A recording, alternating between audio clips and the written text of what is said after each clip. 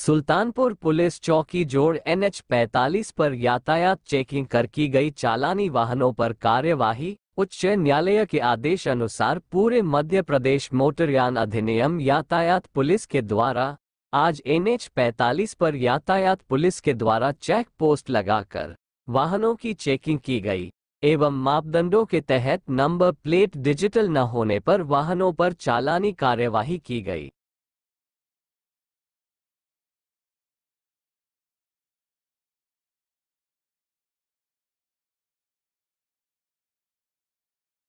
माननीय उच्च न्यायालय जबलपुर द्वारा अ, 2019 से पहले जो भी वाहन बने थे उनकी जो नंबर प्लेट थी उसको बदल के HSRP number plate high security registration plate लगाई जाना है। जी। 2019 के बाद के वाहनों में लगी हुई आती है और 2019 से पहले बाद के वाहनों पहले के वाहनों में इनको बदला जाना है जिसके लिए book my H S R P पे जाके लॉग इन करके अपनी डिटेल्स फिल करके आप लगवा सकते हैं। ये मैंडेटरी है और सभी को सभी वो पुराने वाहन जो 2019 से पहले के क्रय किए गए हैं उनमें ये बदला जाना है। इसके लिए समय सीमा माननीय न्यायालय द्वारा और ट्रांसपोर्ट कमिश्नर सही साहब द्वारा दी गई थी।